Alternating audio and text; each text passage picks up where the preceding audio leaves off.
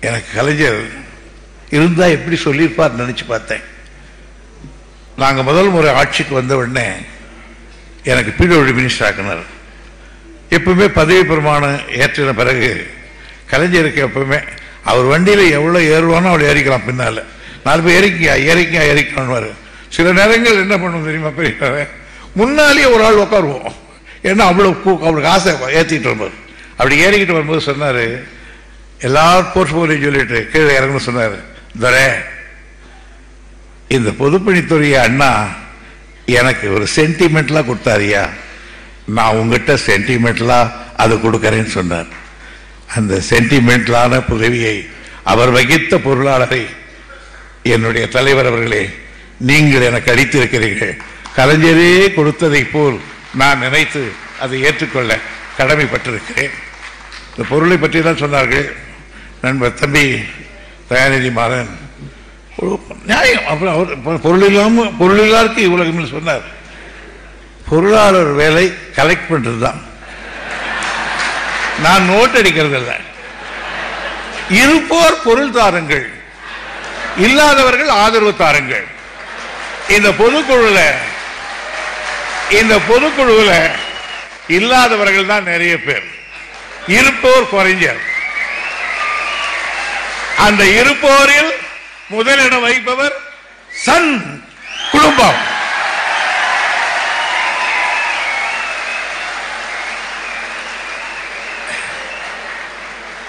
தயாநிதி மாறன் அவர்களே இந்த இயக்கத்துக்காக உங்களிடம் நான் மடியேற்றி வருகிறேன். எனக்கு எவ்வளவு போட முடியுமோ அவ்வளவு போடுங்கள். நான் அவரையும் தெரிகிறேன் எனவே இதற்காக இந்த பொதுக்குழுவில் நான் உறுதியளிக்கிறேன். மிகப்பெரிய தொகையை நம்முடைய தயாநிதி அவர்கள் வழங்குவார் என்று கூறி இரண்டு மணி நேரத்துக்கு முன்னால் செயல் தலைவர் தம்பி என்று அழைத்துக் கொண்டிருந்தவர் இப்பொழுது என் மரியாதைக்குரிய வணக்கத்துக்குரிய என் தலைவர்.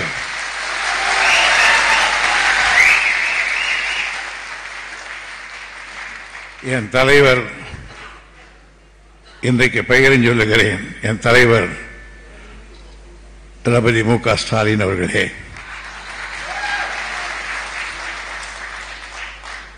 இப்படி ஒரு அழைப்பு அழைப்பதற்கு இவ்வளவு நான் வாழ்ந்தேனே அதுவே எனக்கு போதும். காரணம் உங்கள் வீட்டுக்கு நான் வந்த பொழுது அறுபத்தி ரெண்டு அறுபது வாக்கில் அரைக்கால் சட்டை குட்டி பனியன் போட்டுக்கொண்டு நானும் முரசுரை செல்வம் உட்கார்ந்திருந்தால் பயந்து பயந்து அந்த பக்கம் ஓடுவீர்கள். ஆனால் என் கண் முன்னால் வளர்ந்து என் தோளுக்கு வந்து தோழனாகி என் தலைக்கு மேல் வந்து எனக்கு தலைவனாகிவிட்டார்கள்.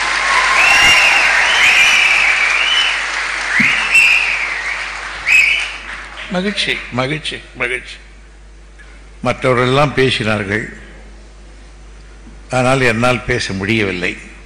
ஆயிரத்தி தொள்ளாயிரத்தி அறுபத்தி ரெண்டில் இருந்து மேடை மேடையாக பேசி இன்னும் பேசிக் கொண்டிருக்கிற நான் இப்பொழுது பேசுவதற்கு எனக்கு வார்த்தைகள் வரவில்லை.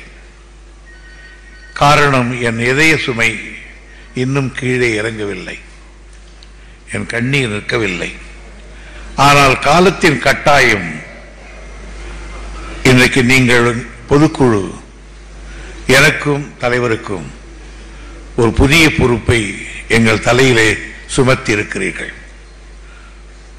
மாபெரும் இயக்கமான நூற்றாண்டை கண்ட திராவிட இயக்கத்தில் முப்பெரும் தலைவர்களாக விளங்கக்கூடிய தலைவர் பொதுச் செயலாளர் பொருளாளரில் அந்த பொருளாளர் தகுதிக்கு என்னை உயர்த்தி வைத்திருக்கிறீர்கள். நான் அந்த பொருள் அந்த பதவிக்கு தகுதி உடையவன் என்று கருதவில்லை. ஆனால் நீங்கள் அந்த பொறுப்பை தந்த காரணத்தால் அந்த பதவிக்குரிய தகுதியை நான் முயன்று பெற்றுக் கொள்வேன் என்பதை உங்களுக்கு நான் தெரிவிக்க கடமைப்பட்டிருக்கிறேன். என்னை வளர்த்து ஆளாக்கி அரசியல் உருவான என் தலைவர் இன்றைக்கு படுத்திருக்கிற திக்கு நோக்கி வணங்கி உங்கள் அனைவர் வாழ்த்தோடு நான் இந்த பொறுப்பிலே பதவி பிரமாணம் ஏற்றுக்கொள்ள தயாராக இருக்கிறேன். திராவிட முன்னேற்ற கழகம் என்பது மிகப்பெரிய ஒரு இயக்கம். எனக்கு என்னவென்று கேட்டால் இன்றைக்கு தளபதி அவர்கள் தலைவராகி இருக்கிறார். இதே போன்று ஒரு ஐம்பது நாற்பத்தி எட்டு ஐம்பது ஆண்டுக்கு முன்னால் தலைவர் கலைஞர் அவர்கள் தலைவரானார் கட்சிக்கு. அதுக்கு முன்னால் பொதுச் செயலாளர். அந்த பொறுப்பை அவர் ஏற்கிற பொழுது அவரோடு நான் இருந்தவன். அவரோடு பணியாற்றியவன். ஆனால் உன் தந்தையார் அவர்கள் ரெட் கார்பெட்டின் மூலம் நடந்து வந்து அந்த பதவி ஏற்கவில்லை. சிலுவையை சுமந்து ரத்தம் சிந்தி அதற்கு பிறகு அந்த பதவிக்கு வந்திருக்கிறார். ஏராளமான எதிர்ப்புகள் கட்சியிலேயே. ஆனால் அத்தனை சூறாவளி வென்றார். ஆனால் தளபதி அவர்களே இத்தனை லட்சம் மக்களை கொண்ட இந்த இயக்கத்தில் யாரிடத்திலும் ஒரு சிறு சலப்பு இல்லாமல் மனக்குறை இல்லாமல்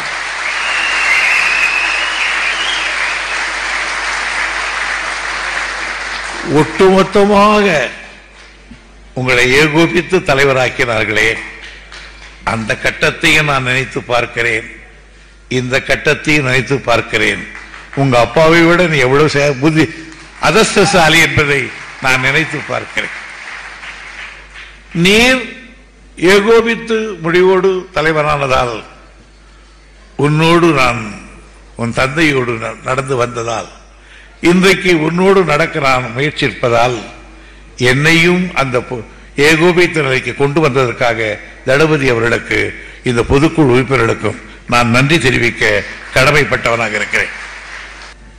அண்ணாவோடு பழகி அரசியல் நடத்தியவன் பல ஆண்டு காலங்கள். கலைஞரோடு பழகியவன் ஒரு ஐம்பது ஐம்பது ஆண்டு கால அரசியல் எதிர்க்கட்சி ஆளுங்கட்சி இருந்தவன். தமிழ்நாட்டில் நான் பேசாத ஊர் இல்லை. பேசி பேசி இன்னை வரைக்கும் நான் இன்றைக்கு கூட பெருமையாக சொல்வேன். எத்தனையோ பதவிகளை பத- பொறுப்புகளை திமுகவில் ஏற்றிருக்கிறேன் மாணவரணி அதாவது பார்லிமெண்ட்ரி போர்டுன்னு இருந்தது அப்பொழுதுதான் வேட்பாளர்கள் அப்படி பொறுக்குவார்கள். அது அந்த பொறுப்பு. முதன்மை செயலாளர் இன்றைக்கு பொருளாளர் என்று இவ்வளவு பொறுப்புகள் என்று சொல்லுவதை விட நான் கழகத்தின் பேச்சாளன் என்று சொல்லிக் கொள்வதிலே தான் எனக்கு பெருமை. அதில் எனக்கு இன்னும் அவ்வளவு உணர்வு கடைசி வரையில் தலைவருக்கு அந்த உணர்வு உண்டு. எனவே இயக்கத்தில் ஒரு புதிய அத்தியாயம் துவங்கி இருக்கிறது நடேசனாரில் இருந்து டி- நாய- அதாவது நாய நாயர் வெண்ணுடை வேந்தரும் வருகிற வரையிலே ஒரு காலகட்டம்.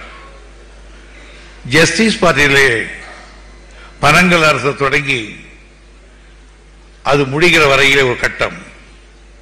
பெரியார் சுயமரியாதை இயக்கம் அடுத்த கட்டம் திராவிட கழகம் அடுத்த கட்டம் திமுக அடுத்த கட்டம் அண்ணா ஒரு கட்டம் கலைஞர் கட்டம். அடுத்து இந்த நூறாண்டு இயக்கத்தை வழிநடத்த போகின்ற மகத்தான கட்டம் உங்கள் கையிலே வந்திருக்கிறது. நீங்கள் இன்றைக்கு சரித்திர புருஷன். இன்றைக்கு ஒரு வரலாற்று நாயகனாக நீங்கள் அமர்ந்திருக்கிறீர்கள். நேற்று வரையிலே திமுக இன்றைக்கு வரலாற்றிலே புகழ்பெறப் போகின்ற ஒரு மகத்தான மனிதன் நீங்கள். காரணம் இந்த இயக்கம் அரசியலுக்காக ஏற்பட்டதல்ல. பிற்பட்டவர்களுக்காக ஏற்பட்டது. அந்த உணர்வு உங்களிடத்தில் இருக்கிறது. அறுபத்தி ஒன்பது பர்சன்டை கேன்சல் செய்ய வேண்டும் என்று சுப்ரீம் கோர்ட்டில் ஒரு கேஸ் போட்டான் எவனோ முடித்து விடலாம் என்று. அதை பார்த்து துடித்து கலைஞரை போல் ஒரு கடிதம் எழுதினேன் அன்றைக்கே நினைத்தேன் இந்த கட்சியை காப்பாற்ற சரியான ஆள் நமக்கு கிடைத்து விட்டார் என்று. நான் கலைஞரோடு இருந்தவன். பழகியவன். தூக்கத்தில் வா- பிரயாணத்தில் எனக்கு தெரியும் கலைஞருடைய அந்த கண் பார்வை அந்த கண்ணாடி ஓரத்திலிருந்தே என்ன நினைக்கிறான் ஜெயித்து விடுவேன். எல்லாரும் சொல்லுவாங்க நீங்க தான் கரெக்டா சொல்வீங்க. நான் அப்படி ஸ்டடி பண்ண பார்த்தேன் ரசபதியை இன்றைக்கு நேற்றைக்கு இந்த பேச்சாளர்கள் எல்லாம் இங்க பேசுறதுக்கு பேர் எழுதினர் இல்லையா? முக்கையா பன்னீர்செல்வம் ராஜா சக்கரபாணி எல்லாம் இதுல யார் யார் நீங்க ஒட்டுக்கிட்ட பார்த்தீங்கன்னா நீண்ட காலமாக உழைத்து கொஞ்சம் ஒதுங்கி இருக்கிறவர்கள். ஆனால் அவர்கள் ஒதுங்கி போய்விடக் கூடாது என்பதற்காக இதை எழுதி கொண்டு இன்னார் இன்னார் பெயரை சொல்லிக் கொண்டே வந்தார். நான் உட்கார்ந்து கை தட்டி விட்டேன். சபாஷ். சபாஷ் தம்பி. பழையவர்களையும் மறக்காமல் நெஞ்சத்தில் நிறுத்தி கொடுக்க வேண்டிய மரியாதையை கொடுக்க வேண்டிய நேரத்தில் கொடுக்கிறாயே நீதான் கலைஞருடைய மகன் என்பதற்கு இதுதான் உதாரணம் என்று சொன்னேன். உங்களுக்கு தெரியுமோ? ஒரு கிலோமீட்டர் நீளத்துக்கு பறந்து விரிந்திருக்கும். ஆனால் பல பேருக்கு தெரியாது. இன்றைக்கு இருக்கிற ஆரம்பரம் அந்த ஒரிஜினல் அடிமரம் சுனாமியிலே விழுந்து போய்விட்டது. அடிமரம் விழுந்து விட்டால் எல்லாம் விழுந்திருக்கணும். விழல.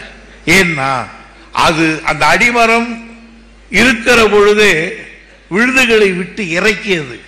அந்த விழுதுகள் இன்றைக்கு அடிமரம் போல் ஆகிவிட்டது.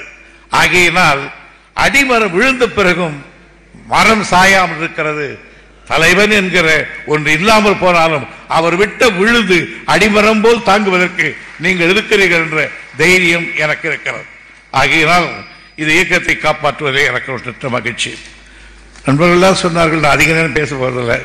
பொருளாளர் சொன்னார்கள். ஒன்று வச்சுங்க இந்த பதவியை எவ்வளவு பெருசாக நான் கருதுனேன் தெரியுமா? காரணம் கலைஞர் அவர்கள் வகித்த பொறுப்பு இந்த பொருளாளர் பொறுப்பு. இந்த இயக்கத்தில் பெரியவரெல்லாம் வைத்திருந்தார்கள்.